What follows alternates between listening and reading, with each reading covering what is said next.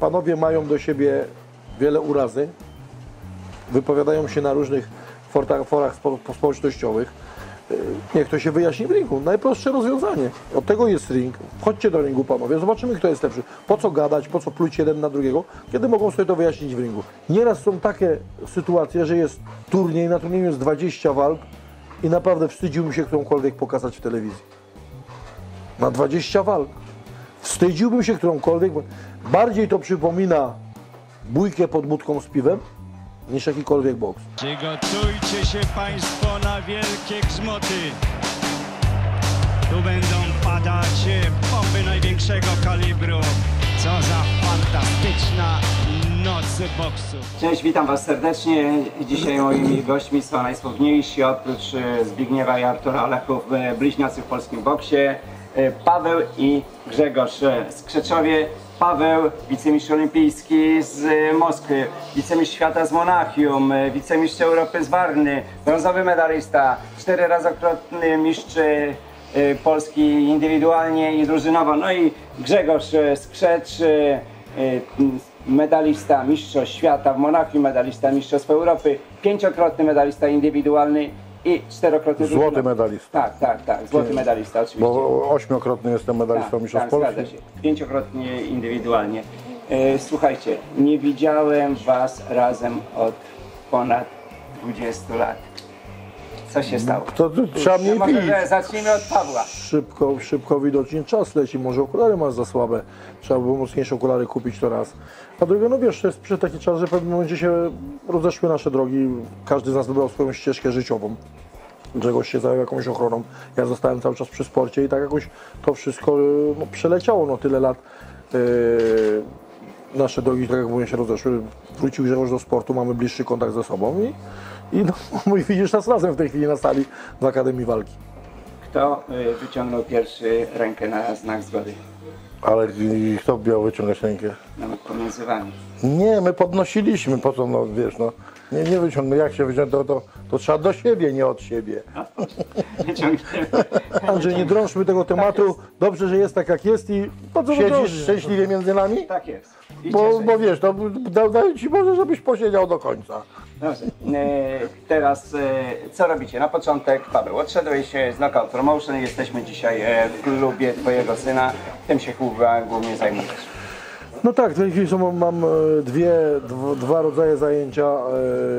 Klub, w którym pomagam synowi, prowadzę tutaj uczniowski klub sportowy. No i to, co najważniejsze, moi wnuki. Mam trójkę wnuków i każdą wolną sekundę, każdy wolny czas poświęcam im. Jeśli nawet treningi zahaczają o to, że ja w tym czasie nie mogę pojechać do wnuków, to to daję swoje treningi synowi, syn prowadzi, ja jednak jadę do tego, co najbardziej kocham, do nich. Grzegorz, e, co się działo z tobą przez ten czas? E, jak ten, no żyłem bogato. No co by ten, no tak jak tutaj Paweł powiedział, Paweł się zajął generalnie sport, sportem. Ja trochę weszłem, w, przez taki czas odszedłem od sportu i wziąłem się, no trochę tak można powiedzieć, za zarabianie pieniędzy. Znaczy weszłem e, w ochronę, otworzyłem firmę ochroniarską. Ale tak, rządzenie losu i ja tam chodziłem sobie cały czas, bo to od sportu nie można odejść, jak ktoś jest tak związany ze sportem jak my, no to trudno sobie wyobrazić, żeby wiesz, no powiedzieć tak, y, ciach, dziękuję, kończę karierę. Nie jeden nasz przyjaciel tak powiedział, kończę karierę i wiesz, to jest różnica, serce nie wytrzymuje tych różnic, nagle tu obciążenia, później jest leżenie i wiesz, no kłopoty ze zdrowiem. Od sportu nigdy nie odszedłem, ale teraz y, prowadzę y, zajęcia w dwóch akademiach, w Legionowskiej Akademii Sportów Walki i w Fight Club Białęka, także mam y, czas zajęty bardzo mocno, jeżeli chodzi o sport. Zobaczyłem, że no jest kilku tych takich dzieciaków fajnych, którzy, którzy mogliby poboksować. Wziąłem go za ucho, zaprowadziłem do Polskiego Związku Bokserskiego, y, zarejestrowaliśmy klub, opłaciliśmy licencję, zapłaciliśmy za licencję dzieciaków. No i teraz mamy trochę radości, bo nasza zawodniczka zdobyła złoty medal y, Olimpiady Młodzieży.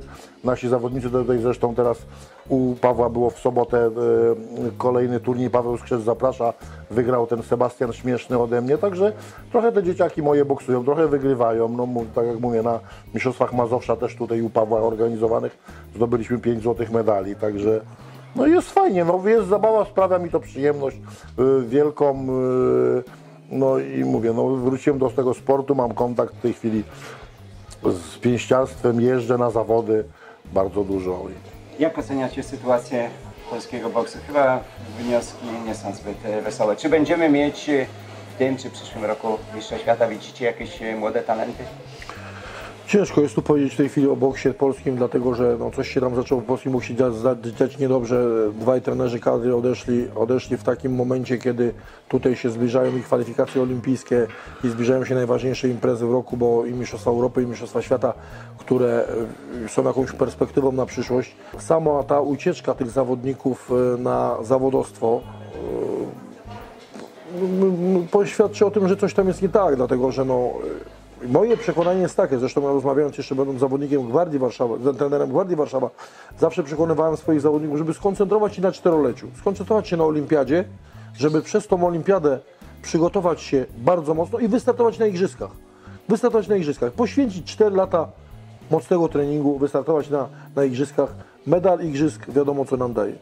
Życie może się nie ułożyć, może być różnie, ale jak mam medal olimpijski, to co miesiąc kasa na e, konto wpływa i jest to dla takiego chłopaka, który może sobie w życiu nie poradzić, a medal o, o Igrzysk Olimpijskich ma, jest to dla niego bardzo duże, dużo, dlatego że no, chciał czy nie chciał, te pieniądze przychodzą i już nikt nie powie, że nie, nie, nie, Od 1992 roku czekamy na ten medal olimpijski. Kiedy się doczekamy? W obecnej sytuacji nieprędko. W obecnej sytuacji nieprędko. Yy, dlatego, że yy, same kwalifikacje do igrzysk są bardzo, bardzo mocne.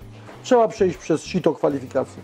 To jest wielu, nieraz ósemka Mistrzostw Świata, czwórka Mistrzostw Europy. Później zaczynają się te turnieje kwalifikacyjne, które tam gdzieś zostają jakieś turnieje, ale już na te turnieje jadą najmocniejsi ludzie. Ci, którzy się nie, gdzieś tam nie załapią z y, Mistrzostw Europy czy świata, y, jadą na te turnieje, to tam jest czołówka. No nam ciężko się bratać z czołówką. Jakieś takie się zrobiły teraz mecze, te międzypaństwowe. Y, chwała, bardzo się z tego cieszę, te mecze, no ale te mecze nie pokazują, y, nie są w stanie y, określić mocy naszego pięściarstwa, dlatego że no, reprezentacje, z którymi się stykamy, to jest drugi, trzeci garnitur. W wielu przypadkach zawodnicy w ogóle nieznani. Nieraz są takie sytuacje, że jest turniej, na turnieju jest 20 walk i naprawdę wstydziłbym się którąkolwiek pokazać w telewizji. Na 20 walk. Wstydziłbym się którąkolwiek. Bardziej to przypomina bójkę pod budką z piwem niż jakikolwiek boks. Co się zaczęło dziać w naszym polskim boksie? Przede wszystkim z zawodnikami początkującymi. Moje takie zdanie jest. Każdy ma możliwe swoje. Powinni pracować trenerzy najlepsi w naszym kraju. Kiedyś mnie poproszono, żebym poprowadził taki kurs jako właśnie sędzia i trener yy, o tych rzeczach opowiedzieć. To jak przyszło do, końco, końcowego, yy, do końcowego rezultatu tego, tego yy, kursu i kazano mi podpisywać te cyrografy, które dawały uprawnienia, to powiedziałem, że tego nie podpiszę. Bo ten na przykład nie powinien w ogóle na salę, on sam nie potrafi pokazać pozycji bokserskiej, a jaką może zawodnika nauczyć. I takie są sytuacje. W, w wielu przypadkach nawet zawodnicy kadry widzę, bo się z tym spotkałem wchodząc do lokalu, że stoją na bramkach. Zawodnicy kadry Polski stoją w ochronie, w lokalach, żeby zarobić pieniądze. Ja dziwię się z drugiej strony, że zawodnicy uciekają na zawodowstwo, bo w tym zawodowstwie jakie pieniądze są? No oczywiście to nie jest zawodowstwo amerykańskie czy jakiegoś normalnego kraju. Te, te pieniądze u nas są też nie, niewielkie, ale, ale są. Tutaj trzeba dekady, żeby odbudować polski boks olimpijski. Dekady. Nie wierzę w to, żeby za 5 lat było, byśmy byli potęgą. Trzeba dekady, ale przede wszystkim trzeba włożyć to e, olbrzymie pieniądze i dużą, dużą klasę trenerów, ale najlepszych trenerów, tych na dole. Porozmawiamy o przyjemniejszych rzeczach. Twoja firma Ale to coś- coś- coś tak, masz? Tak, tak, tak. Twoja firma ochroniarska ochroniała koronowane głowy. y, głowy. Chyba to trochę lepszy biznes e, niż boks. no, y, przede wszystkim spokojniejszy, tak? I, I mniej wysiłku kosztuje, tak? No czasami trzeba się naszarpać, ale, ale y, no, mniej wysiłku, więcej pieniędzy. Słuchaj, kiedyś próbowałeś bardzo często w telewizji Cię widziałem, teraz ostatnio rzadziej. Czy zaszkodziła Ci ta słynna wypowiedź w Orange Sport, telewizji Orange Sport o pedałach? Y, Ja, to po, ja powiedziałem to, co, co, co, co mi w duszy gra. To ja nie, nie to, że ja coś tam sobie wymyśliłem i ktoś mi napisał. Ja powiedziałem to, co mi w duszy gra. Bo moje jest takie, ten każdy, y, jak to mówią, jest wolność myślenia i, i, i wolność poglądów. Ja, ja tak uważam i to powiedziałem. Ale dlaczego mówisz, że mi zaszkodziła? Nie, pytam, pytam. Absolutnie nie zaszkodziła. Przecież za, e, zaraz po tej wypowiedzi zagrałem e, w serialu Pierwsza Miłość w 12 odcinkach. E, także nie było żadnej e, ten. Skończyła się pierwsza miłość. E, teraz e, jutro podpisuję umowę, będę grał w policjantkach i policjantach w serialu. Także nic się tu nie zmieniło, tak? Że widocznie ludzie popierają moje poglądy. Byłeś e, trenerem w Knockout Promotion, odszedłeś. Teraz mówi się dużo o walce Artura Szpilki z e, Krzysztofem Diablo Włodarczykiem. Widzisz sens tej walki? Jeżeli tak, to kto byłby faworytem? No, pewnie, że widzę sens tej walki, bo to jest jed- jedna z y, niewielu walk u nas w kraju, która się może sprzedać. Dobrze się może sprzedać. A panowie mają do siebie wiele urazy, wypowiadają się na różnych forach spo, społecznościowych. Niech to się wyjaśni w ringu. Najprostsze rozwiązanie. Od tego jest ring. Wchodźcie do ringu, panowie. Zobaczymy, kto jest lepszy. Po co gadać, po co pluć jeden na drugiego, kiedy mogą sobie to wyjaśnić w ringu. I wydaje mi się, że ta walka by się dobrze sprzedała. Jeśli chodzi tu o faworyta, to tak można powiedzieć, że no tu nie ma tego stuprocentowego, faworyta, ale miał, jeśli miałbym na kogokolwiek stać, to stawiałbym na Diablo Wodarczyka. I Grzegorz? No tutaj, no tak to, to popieram w 100% p- wypowiedź Pawła, że to by była fajna walka.